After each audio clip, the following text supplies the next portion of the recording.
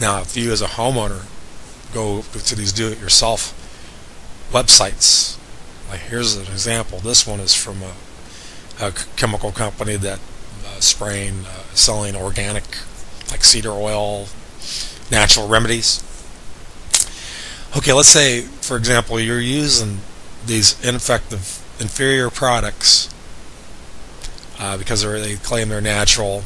Yeah, if they're you know they're natural, they don't kill on contact. They, they don't kill over long term, so you got to keep spraying. So let's just say you do spray your own thing. There's all these arrows are the most common spots in a bedroom that bed bugs can be. Okay, so you know that. Well, that's wonderful, but that information is dangerous for you to know because now you're thinking, well, great. The pest professional showed me the spots that the bed bugs can be, so I'm going to spray my own thing. Cut out the middleman, cut out the professional. In my case, the solution maker. You're going to cut me out of doing the uh, treatment safely and guaranteeing the service, and you're going to try to do it yourself. And what's going to happen is that you're going to spray these areas, and you're going to make the problem. You're going to ex- make the problem way worse than you can ever imagine, because it's not going to work, and you're going to uh, uh, you're going to annoy them and get them running around. And they're not going to die, and as they're running around, they're going to scatter all over. A typical bedroom, this is when the problem's really out of hand already. Uh, when people call me, the, the, the problem's really contained in a specific area around the bed, but all these arrows represent what happens when you're spraying your own stuff. They're all over the bedroom, all over the house. That's because somebody's using an inferior product, like a fogger or a dust powder.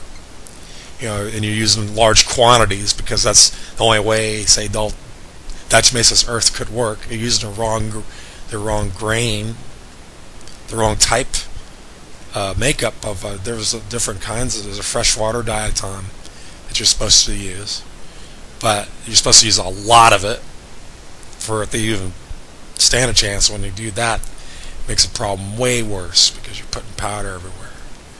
You're breathing that as a human being. That's dangerous for you now. And then uh, the bed bugs aren't going to stay on that powder or mess with that. So they're going to move away from that area and go all over the other rest of the house where you're not messing with them to the point where they're in the wall voids and the electrical and the framework that you can't as a as a homeowner don't know uh, have a clue on how to treat these spots properly. It took me about six months to even learn how to spray properly, and that was for cockroaches. Just to do a pro- it's an art. Doing this, you get good at it as you do it over the years. You as a homeowner, oh, that, you press a button, some chem- uh, some liquid comes out. I could do that. you think that as a homeowner, but there's an art to it. And there's safety involved because if you spray too much pressure and it's the crack, you got to know what you're doing because then the, you know, you put in too much pressure in a, in a in a crack and crevice, it can come back into your face, you know. So the homeowner is just really not recommended at all.